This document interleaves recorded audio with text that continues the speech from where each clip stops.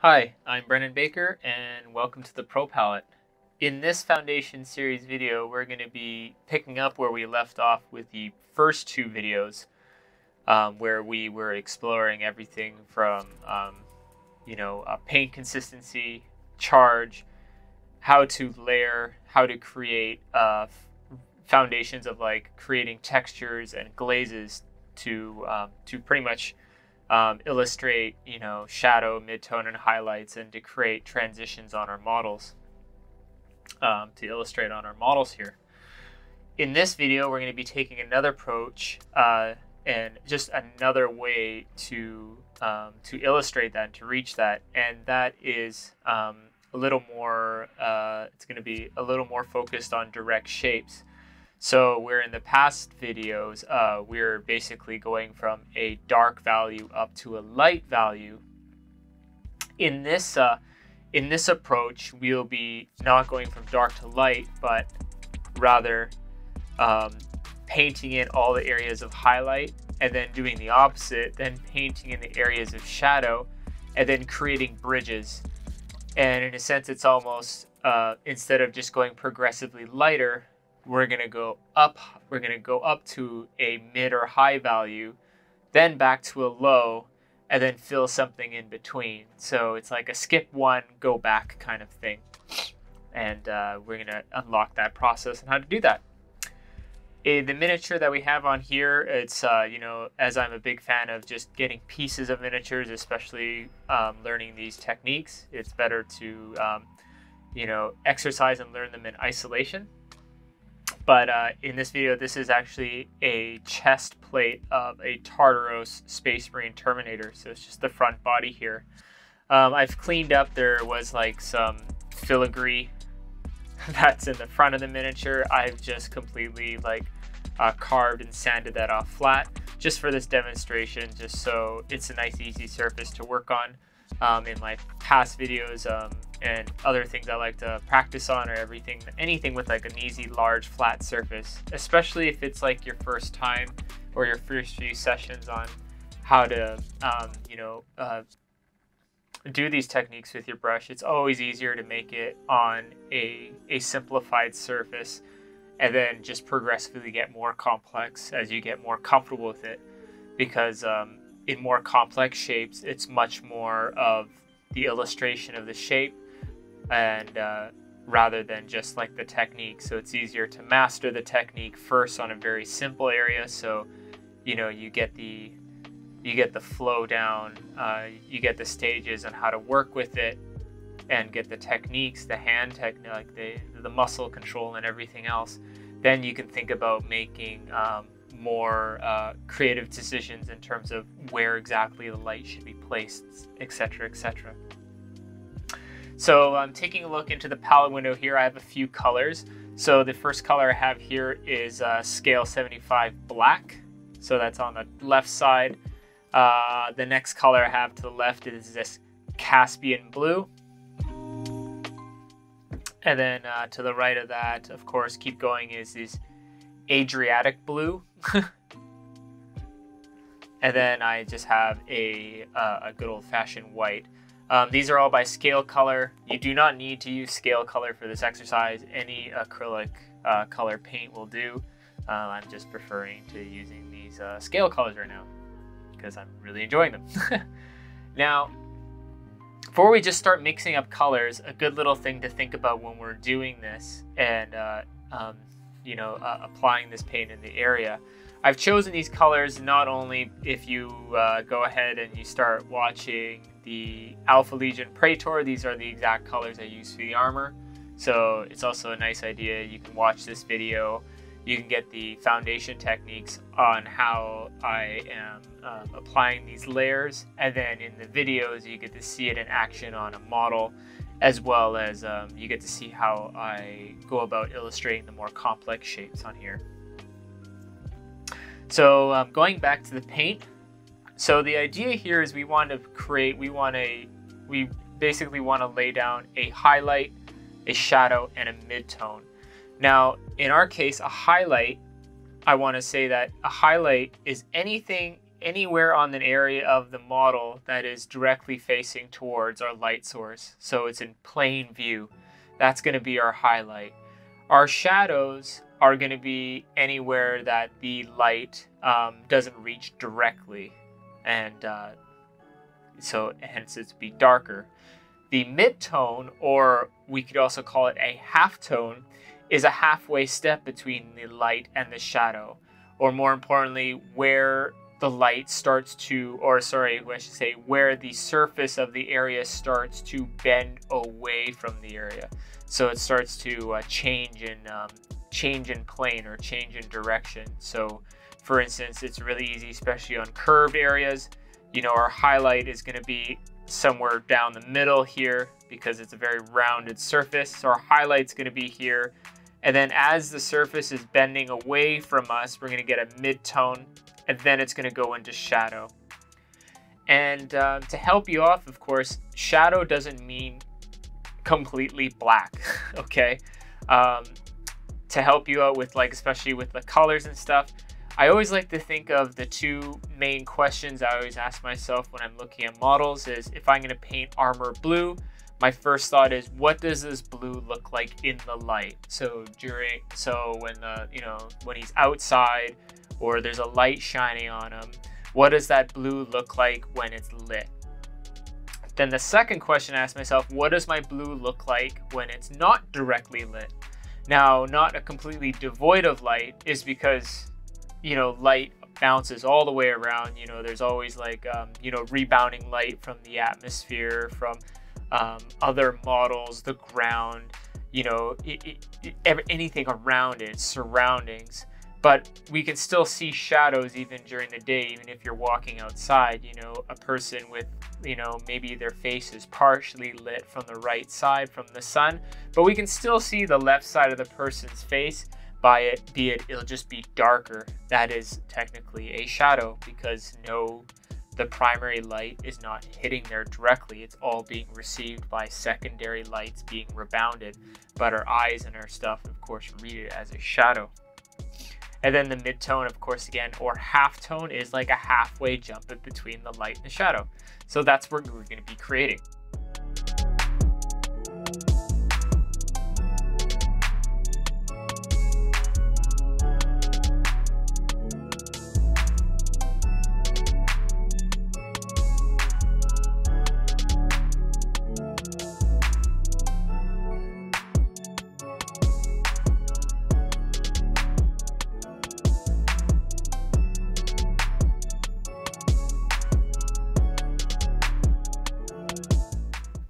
So with these four colors here, I'm gonna start mixing a few.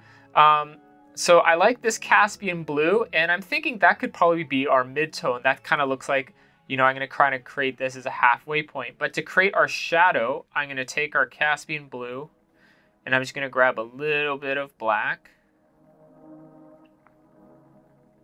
And right there, I think that's pretty good. That that will what our uh, that's what our um, our armor is gonna look like overall in the shadow. Okay, so I'm not gonna make it like super dark. Eh, why not? Get a little bit more. a little bit touch of black. And as you can see, I'm just adding water into it because of course I like to paint with thinner paint. Down here. Now, I will create the mid-tone so the mid-tone, I'm going to grab the same uh, Caspian blue and I'm to start taking a little bit of pinch of this uh, Adriatic blue. Oh, I can never pronounce these names. This lighter blue.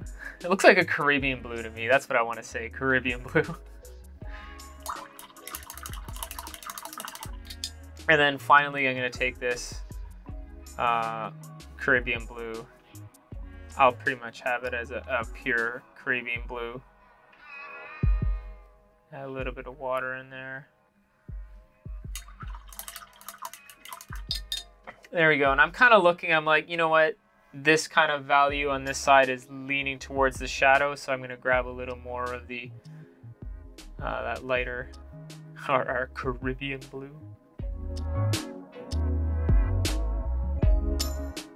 There we go. That kind of looks like a halfway point there.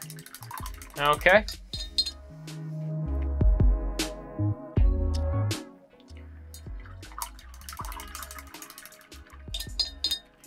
There we go. So I have those three colors down there right now. And let's just start, let's start the process on here. So first off is I'm gonna take our highlight. So this is our highlight color.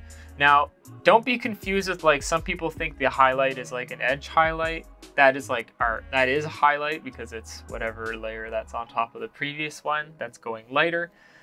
But right now I'm just gonna take this and I'm just, all I'm gonna do is I am just going to um, paint it in the general light area. And like here, so just nice easy strokes Nothing too complicated.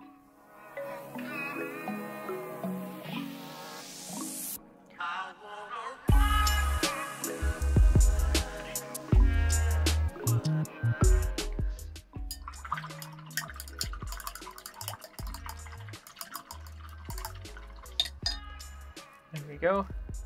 So I'm kind of just giving like a, a, general shape. I'm trying to keep a little bit of the round part. For this exercise, just like the other previous exercises, it's not super important exactly how you position them. We really want to get, we really want to focus on the blending area. So that's always like the first part that I'm always trying to initiate. But in terms of the, um, you know, the shape itself, this whole area is uh, facing upwards because there's an upwards facing plane and then down here is the downwards facing plane, so we won't be painting that part. This demonstration will just be on this part here. And then I kind of want to give a little bit, I can, you know, you can be a little more, um, a, a little more uh, interest in the shape when we start going down here. And now I'm just going to apply the second one. I'm just doing horizontal strokes across. And just like with my other, like my with my paint consistency and such, you know, I'm never never really gonna get a full coverage on, on the first pass.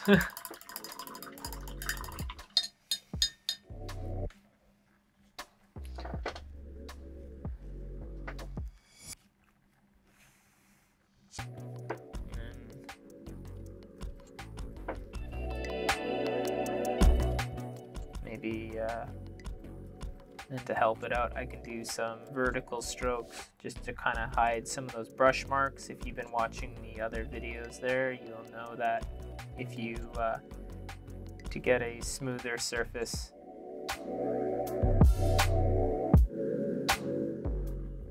we can just paint 90 degrees across our previous strokes just to kind of help it out.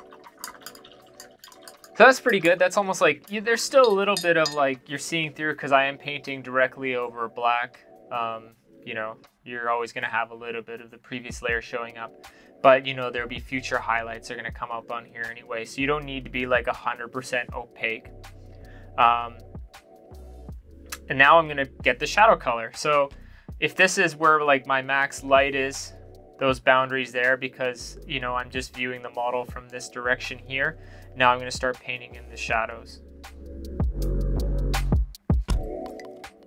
I'll paint in the, the shadow color on this side here. And I'm pretty much going to butter it up right against that highlight.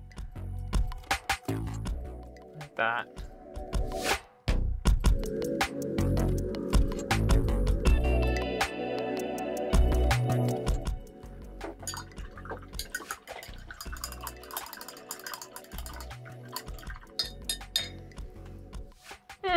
Could actually wrap it all the way around, but we only need to see one side. Little blow, get a little bit of dry. And I'll just make uh, one more, one more layer.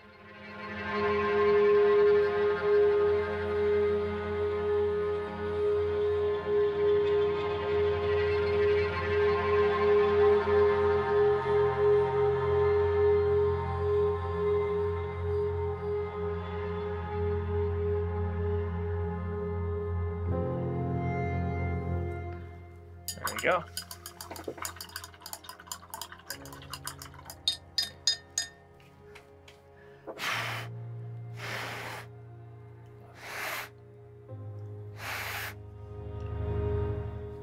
And if I want, I can just get a little more of this highlight just to smoothen it out a little bit more. You know, doesn't hurt.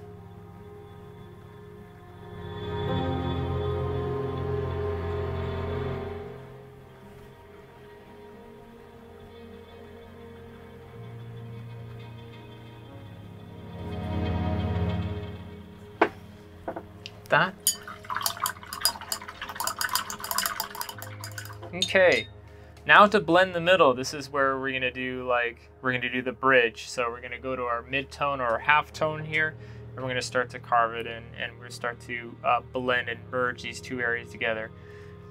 In general, what I like to do, especially for the mid-tone when I'm bridging layers, is this paint will be a little bit, uh, it, you know, it doesn't hurt to be a little bit more um, uh, thinner than your other, your previous layers um, you know, around like, you know, just over one to one, maybe one and a half. You know, it can be a little bit, uh, it can be a little bit thinner. So I'm going to wipe off a lot of the, I don't want a ton of charge on here because we don't need to spill a lot of paint on. And we want to get our stroke something like this. So I'm going to start stroking and I'm going to stroke right down the middle. So I'm going to cover the two in this one pass. So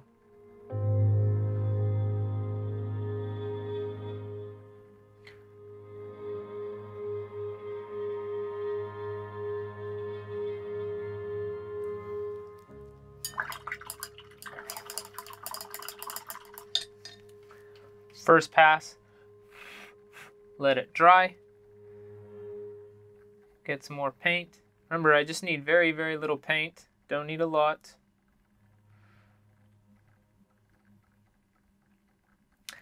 Now, when you first start doing this, you can make that very fairly large. It doesn't have to be like really narrow. Um, it's easier just to do like a larger surface, just so um, you know you give yourself some uh, you know, give yourself a lot of room for like to play, especially when doing this the first time. As soon as you get better and better, you can make it smaller and smaller. Now I've done it from left to right, ending just past into the shadow area. Now I'm gonna go the opposite direction. So I'm gonna do this without flipping. So I'm gonna go backhanded. Most of the time I'd flip this model just because it's easier, but I'll try to keep the orientation the same for you guys.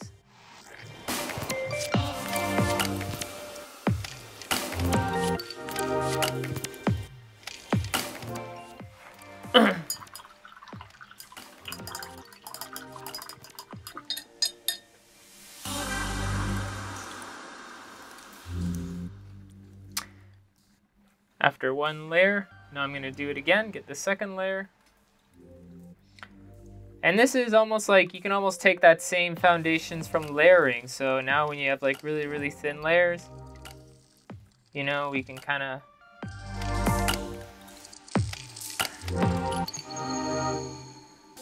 we can apply that same um, that same principle of the thin layers and you can even stop a little bit shorter to get an even nicer feather like that.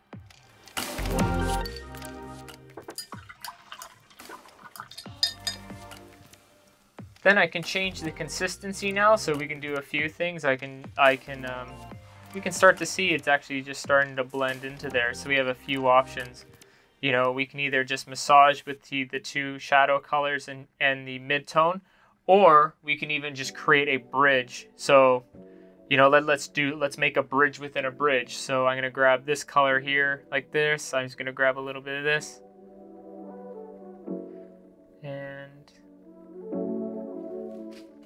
Great that. I'm just gonna wipe off a lot of charge just so there's not a lot of uh, charge left on the brush. And then I'm gonna start, and then I'm gonna do the same thing and I'm gonna put it into this, this side here.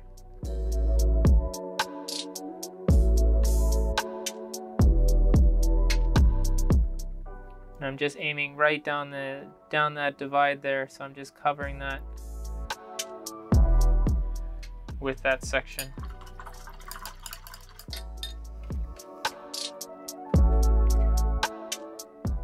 Adding a little more water into that consistency. So now it's like a true to like two to one. Two to one uh, you know, consistency with a little bit of charge, not a lot.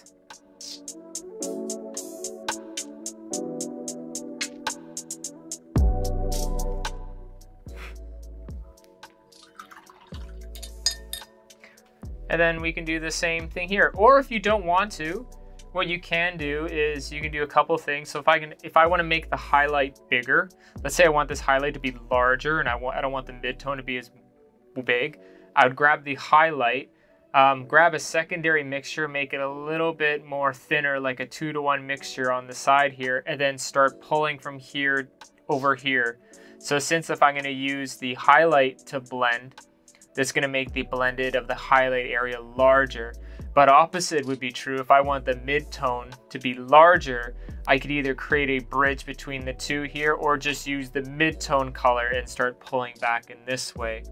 So um, I'll make the I'll make the highlight bigger. Why not? Let's try making the highlight bigger. So here it is. There's a there's a thinner mixture because I put a little bit of water on the side of the palette there.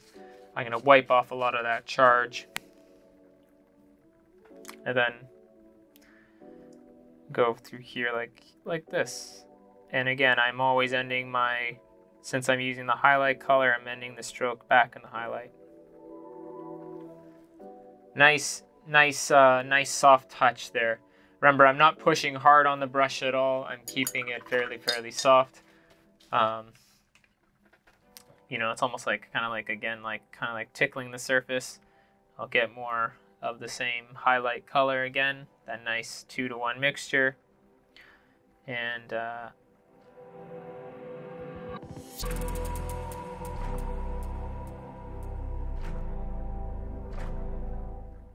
now I can go over my previous stuff like that.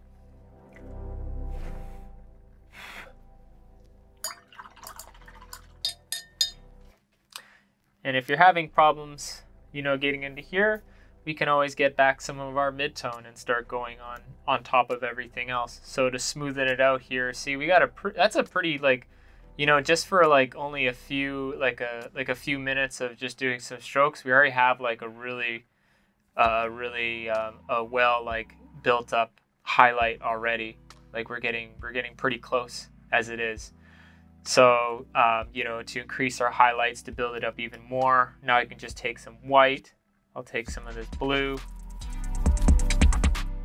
We'll make another pool here.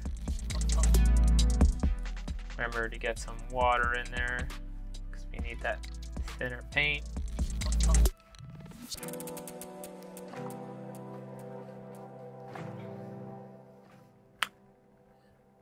Remember to get rid of some of that charge. And then now when I get to the, the brighter, brighter highlights, um, you know, I'm not super, I'm not super concerned about skipping a phase and then cutting back. Now when it gets to the very, very bright highlights, um, I can just, I can layer up from here. But the nice thing is about this initial techniques is that one, it'll really help you get the shapes of highlights that you really need, especially if it's more critical to um, make those shapes uh, uh, more detailed. As well as it lets you plan out um, it'll let you like plan out your better highlights especially when you're doing like uh, when i'm finding out when i want to do more um, detailed shapes in terms of directional lighting getting those highlights directly in place is because um, uh, so much of like getting those like primary secondary lights and then doing like you know bounce lighting and stuff will really um, it's very, very critical that your lights are in the, the correct positions. If they're not in the correct positions, the, the painting starts to look a bit wonky.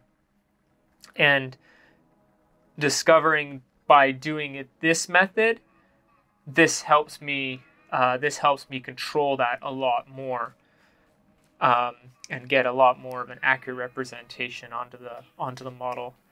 And uh, now I just made, uh, sorry, I just made on the palette there, I made a darker part. So I mixed that Caspian blue and black. And you know what? I'll just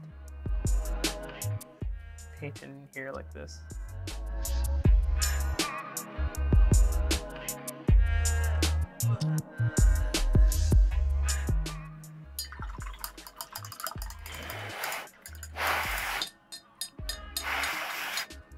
Remember to always let that paint dry.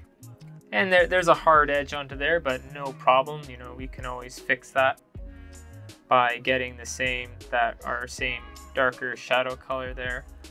I'm just gonna make another mixture of like that, kind of like that two to one. And then um, pull it over. And to make it even bigger, I can always pull it this way too, so.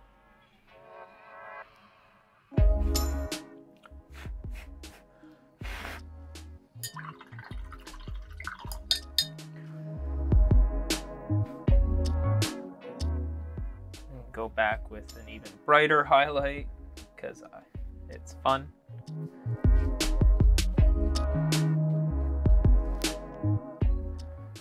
I'm not very good with backhand strokes, but you're seeing me do it anyway.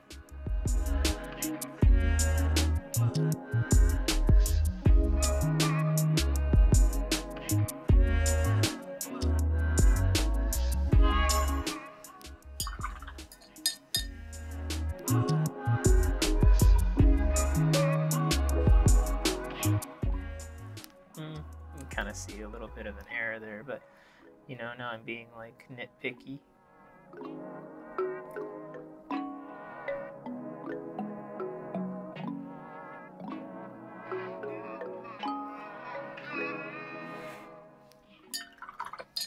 And with like there for like 90%, um, you know, you got the whole sketch of the area down with a pretty good gradient. You get to see, you know, you can faintly see some steps. But of course, you know, I'm just letting you know you are looking at through this camera through like 105 millimeter equivalent. So it appears a lot larger. When you have this in the hand, you can barely see it.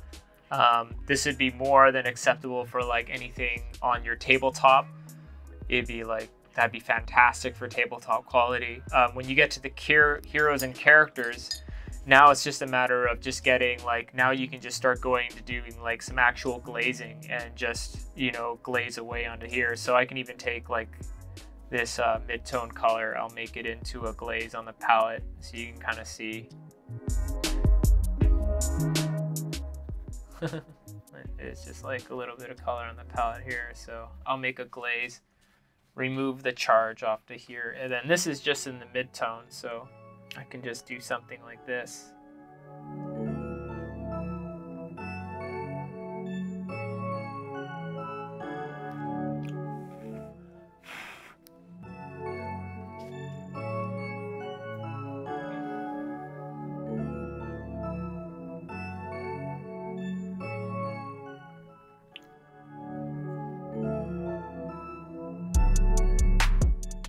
And when I'm brushing there, um, a good little hint is like when I'm doing the glazes here, is it really helps me since you can't really judge what it's gonna look like until it's dry. All I'm looking at is the area that's being wet. So you're looking at the shine of the surface and then that's where you know where your strokes are going. See right there, I can just see there's like a little bit of area that's not dry yet. But once it's dry, you get a pretty good like view on it and how it looks. And then I can do the same thing with the highlight. So I can grab like this, that highlight color. I'm just gonna turn it into like a faux glaze right there. Remove a lot of the charge. There's hardly any paint coming off this thing like that. There's not a lot of paint coming off of it. And then I'm just going to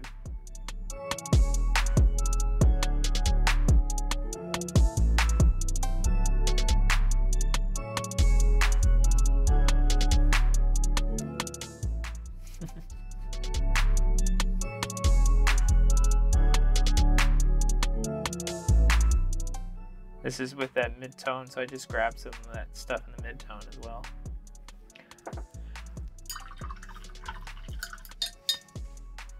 Yeah, then from there, you know, that's uh that is in a nutshell um, how you can create another method on how to create some uh, some blends that are actually like pretty solid and um, you know a good way to uh, a good way to build a model if you don't want to build it up from uh, dark to light. Here we go, I'll just put some.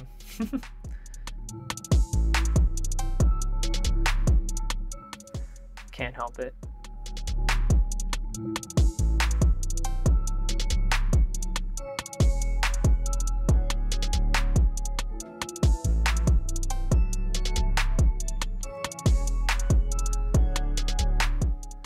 And also, the very good way about learning this way is you can also get comfortable with just painting on, you know, one side of a model.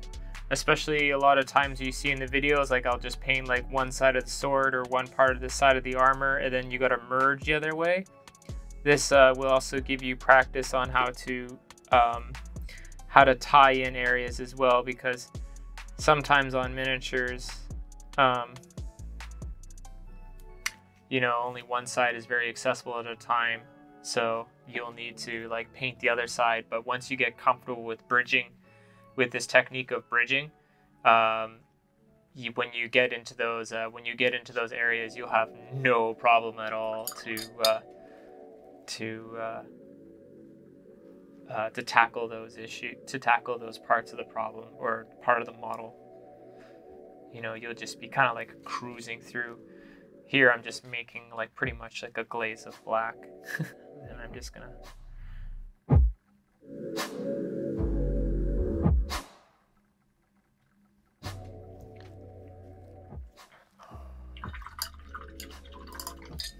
There we go.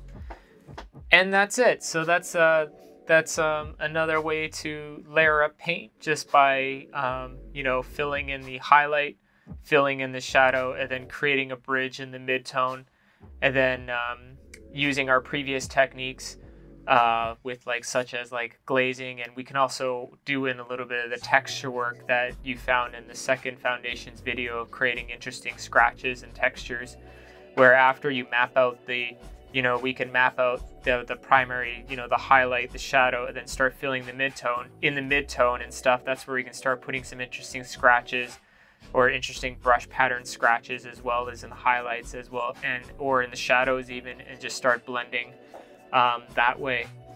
Uh, or even to give you another pattern just to open up some more possibilities for you in terms of like how you want to approach your model.